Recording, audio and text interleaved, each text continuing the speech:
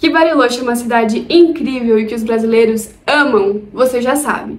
Mas nem tudo são flores. Oi galera, eu sou a Renata do Renatices e hoje eu vim te contar o que ninguém te conta sobre Bariloche. Vão ser 5 dicas, da mais leve até a mais pesada, e a última tem a ver com a sua segurança, então fica comigo. Só uma observação, eu amo Bariloche e recomendo que qualquer pessoa venha visitar essa cidade incrível. Mas eu preciso te contar essas coisas porque eu não quero nada estragando a sua viagem. Bora lá? A internet é muito ruim. Eu não sei se eu tô generalizando demais aqui, se foi algo que aconteceu só comigo, mas eu já fui para Bariloche duas vezes, uma no inverno e outra no verão, e nas duas eu tive muito problema com a internet, tanto nos dados né, do celular, que não pegavam direito em vários lugares, até mesmo na cidade, também o próprio Wi-Fi. Eu trabalho remoto, então era muito difícil encontrar uma cafeteria com Wi-Fi bom. Eu até fui numa que se chama Del Delicious, vou colocar aqui o, o nome, é, que era muito fofa, era uma delícia, várias pessoas trabalhando de lá, mas a internet deixava muito a desejar. E eu também trabalhei no coworking do Celina, que é uma rede de hostels que tem no mundo inteiro, em Bariloche também. Lá a gente paga mais ou menos 30 reais para passar a diária e mesmo assim a internet não era lá aquelas coisas, não aguentava uma, uma videochamada, enfim. Então, esse é um ponto para você considerar. Todo mundo fala que a Argentina é um país super barato, e de fato o real está super valorizado quando a gente vai para a Argentina. Mas Bariloche é uma cidade muito turística, gente e lá os preços são bastante altos. É muito mais caro do que Buenos Aires, por exemplo, se você está se perguntando isso. Então você não vai conseguir almoçar com menos de 60, 70 reais. É, a passagem de ônibus em Buenos Aires custa 50 centavos de real, se a gente for converter. Em Bariloche tem ônibus que custa 5 reais. Então ainda é é um preço ok, mas para você ver a diferença aí de Buenos Aires para Bariloche. Os táxis também são mais caros do que em Buenos Aires, então você precisa ir sim preparado. E outro ponto é que Buenos Aires tem muito passeio gratuito, né? Você caminha na rua, você vê o obelisco, você vê a Casa Rosada, e em Bariloche, principalmente no inverno, os passeios são bem caros. Tem passeios aí que custam mais de mil reais. Prepare o bolso para vir para cá. Além disso, na alta temporada de inverno, a cidade fica muito cheia, então você precisa vir com muita paciência. Por exemplo, se você for jantar no centrinho, que é onde fica ali a concentração de restaurantes, pode apostar que se você chegar às 8 horas da noite, a partir das 8 horas da noite, você vai pegar aí uma fila tranquilamente de duas horas para você comer nos restaurantes mais famosos, que são o Boliche do Alberto, Alto El Fuego, La Fonda del Tio, então uma dica é você reservar os restaurantes que dá para reservar, porque vários você não pode reservar, você tem que chegar lá e é por fila de espera. Outra dica é você já ter muito claro quais são os restaurantes que você vai jantar a cada dia, e aí você chega cedo para pegar uma mesa naquele lugar. Não me inventa de chegar às 8 horas no centrinho pra ir pensar onde que você vai comer, porque você vai ficar na rua. O Cerro Catedral, que é um lugar onde as pessoas vão fazer esqui, snowboard, esportes de neve, também fica com muita gente. Ele fica muito lotado, gente. É fila para tudo. É fila para tudo. Então, se você chega lá no Cerro Catedral às 9 horas da manhã, que é quando abre, ainda for alugar roupa, alugar equipamento, comprar entrada, pode apostar que você vai sair esquiando a partir de umas 11 horas, porque vai ter fila para tudo. Outro lugar que tem muita gente o tempo inteiro, a Rapa Nui, que é a melhor loja de chocolates do mundo, na minha opinião. E é uma loja incrível, tem pista de patinação, tem cafeteria, tem chocolate por quilo. É incrível, você tem que conhecer. Mas na alta temporada vai estar sempre, sempre muito cheio. Uma dica é você ir mais na parte da tarde, porque as pessoas ficam fazendo passeio na parte da manhã e de noite vão pro centrinho.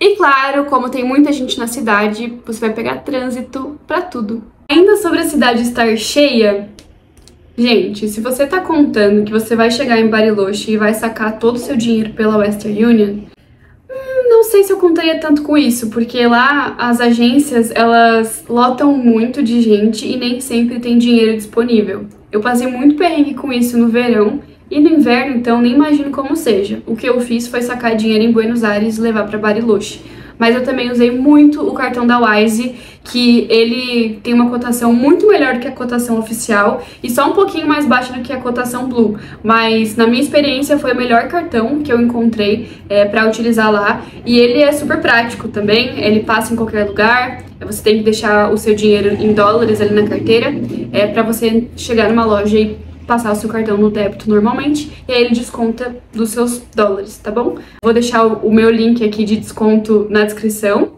E tem muitos lugares que fazem troca de dinheiro. Muita gente falando câmbio, câmbio, câmbio na rua. Você pode trocar o seu dinheiro lá. É confiável? Não sei, não troquei para dizer. Pode ser que sim, pode ser que não. É, prefira trocar em agências de viagem que estejam com uma cotação legal, que estejam fazendo esse câmbio também. Tem algo que me deixa muito indignada em Bariloche. E desculpa estar tá fazendo comparação com a capital, mas eu vou fazer mais uma. Buenos Aires tem um transporte público incrível, impecável. Gente, tem metrô, tem trem, tem ônibus, passa o tempo inteiro, tem Uber, tem vários aplicativos de transporte, tem carro para qualquer hora. Você não vai passar perrengue para se, pra se locomover lá dentro. Agora, Bariloche, gente, não tem Uber, até tem, mas está em uma fase mais inicial, não é regulamentado pelo governo, é, não tem carro, então não conte com ele. Eu tentei pedir várias vezes, consegui uma ou outra, mas na grande maioria das vezes não tinha carro disponível. Como a cidade está cheia na alta temporada, é muito difícil você conseguir um táxi. Como é que pede um táxi, Renata? Você tem que fazer sinal com a mão para chamar um táxi? É, ou ligar na central de táxi, como os incas faziam, para chamar um carro para você. Só que na alta temporada não tem táxi. Não tem táxi passando na rua em qualquer lugar. Talvez no centrinho você vá até achar. É, mas é muito difícil encontrar se você estiver num lugar mais isolado.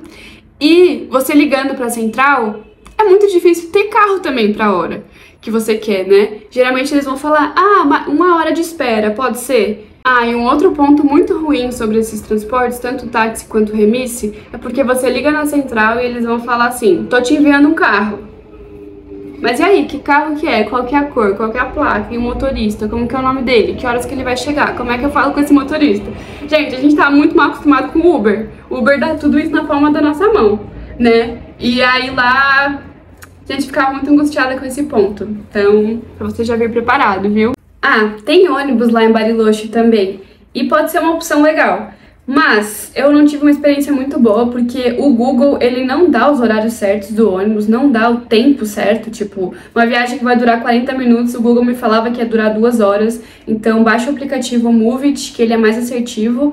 E mesmo assim, o ônibus não passava, nem todos os ônibus passavam no horário que o aplicativo dizia. E você precisa do cartão Sub, que é o mesmo cartão que funciona em Buenos Aires, é, para você poder pagar a passagem. Eles não aceitam a passagem no dinheiro. E pode não ser tão simples você encontrar o sub, você tem que sair perguntando nos quioscos é, para ver qual deles está vendendo. De novo, a cidade tá cheia no inverno e pode ser difícil encontrar. É, uma outra dica aqui sobre transporte é que lá funcionam muito os remisses, que são é uma empresa de carro que você agenda corridas também. Geralmente você não pede assim com a mão na rua, mas você liga para a central e agenda a sua corrida. Essas corridas são um pouco mais caras, mas também funcionam super bem. Super bem. Não foi isso que eu quis dizer, não funcionam super bem, porque também nunca tem carro, mas também é uma opção. E uma dica aqui é alugue um carro. Porém, se tiver nevando, alugar um carro pode ser um grande problema, porque dirigir na neve não é uma boa ideia. Então assim, vai no verão, vai em qualquer outra estação, aluga um carro. No inverno, você já teria que ficar aí mais ligado na previsão do tempo para saber se vai nevar ou não. Eu passei 20 dias em Bariloche e só nevou duas vezes, então teria valido muito a pena eu alugar um carro, por exemplo. E galera, essa última dica é a mais importante, tem a ver com segurança. E quando a gente fala de segurança e viagem, a gente não pode deixar de falar de seguro viagem. Se você vai viajar para Bariloche ou para qualquer país, Faça um seguro viagem para você ir viajar mais tranquilo, mais tranquila e evitar problemas. Eu sempre faço meu seguro viagem no mesmo lugar e os inscritos do Renatices têm 15% de desconto. Eu vou deixar o link aqui na descrição para você fazer o seu orçamento sem compromisso. Bariloche é uma cidade que se assemelha muito a países nórdicos da Europa. É uma cidade que tem uma vibe assim muito tranquila, muito segura. Mas cuidado! Eu conversei com alguns locais de Bariloche e eles me falaram que tá rolando uma onda de furtos a carros e a casas. Então eu já ouvi relatos lá no meu Instagram, né, dos meus seguidores, falando que alugaram um carro e aí quando foram fazer o passeio do Circuito Tico, que é um passeio que você vai passando por vários pontos panorâmicos ali da cidade, quando eles estacionaram, foram ver ali a vista e voltaram para o carro alugado, tinham arrombado o carro e tinham levado aí pertences é, de valor deles. Então essa dica é importante de você não deixar itens de valor dentro de um carro, é, estacionado em qualquer lugar, seja no Cerro Catedral, no meio da rua, na sua casa, tá? Também é muito comum que arrombem casas ou cabanas de turistas, principalmente as que ficam mais afastadas. Infelizmente, a capa do vídeo é verdade, isso aconteceu comigo e com a minha família em Bariloche. E eu quero te contar um pouco de como que foi essa experiência para você tomar muito cuidado na hora de vir para cá. Eu e meu namorado, a gente trouxe toda a nossa família para Bariloche na viagem dos nossos sonhos. Imagina, reunir as duas famílias num país incrível, seria a primeira vez de todos eles vendo neve, vendo nevar, enfim. E a gente pensou, cara, vamos fazer essa viagem ser incrível. Então a gente planejou com muito, muito carinho, né? A gente até alugou uma cabana no meio não era tão longe do centro, viu? Mas era uma cabana na rua Áustria, perto do Hotel Celina.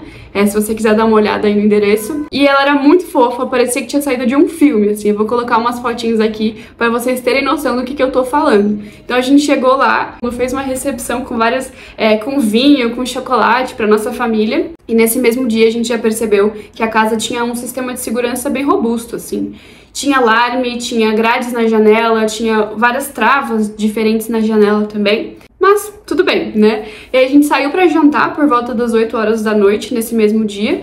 E depois de meia hora, o dono do Airbnb já me ligou e falou: Renata, é, o alarme disparou, já entrei no Airbnb com a polícia, não tinha ninguém lá, mas tinha algumas coisas reviradas, jogadas em cima da cama. A gente terminou de, jantar, voltamos para o Airbnb e a gente constatou que de fato tinham entrado lá. Arrombaram a janela do segundo andar e levaram mais de 15 mil reais em dinheiro e equipamentos fotográficos. Não foi uma experiência legal, a gente viu todas as nossas coisas reviradas, a gente ficou muito assustado de a pessoa voltar, né, e sei lá, voltar pra, casa ali, entrar de novo na, na janela que tava arrombada e fazer alguma coisa com a gente, vir buscar mais coisas, sei lá. E também era o primeiro dia de uma viagem que era para ser incrível, que era para ser perfeita. É... Meu irmão nunca tinha saído do país, por exemplo, então foi, foi bem traumático, assim, sabe? Eu conto isso pra vocês pra. Caso você tenha um sonho de ficar numa cabana, no meio do nada, em Bariloche, com vista pra neve, pras montanhas, pro lago, cara, reveja esse sonho, porque se eu pudesse dar uma dica pra você, é a sua segurança em primeiro lugar. Então, fica no centrinho, é, fica num, num, prédio, num edifício que tenha portaria ou que seja alto minimamente, que tenha grade, porque esse assunto é muito sério em Bariloche. Então esse foi meu relato. Se você já passou por alguma coisa parecida em Bariloche ou em alguma outra viagem, deixa aqui nos comentários. Eu espero de verdade que esse vídeo tenha ajudado você e que possa evitar aí possíveis acontecimentos ruins na sua viagem tá bom? Desejo uma ótima viagem para você e até a próxima Renatice.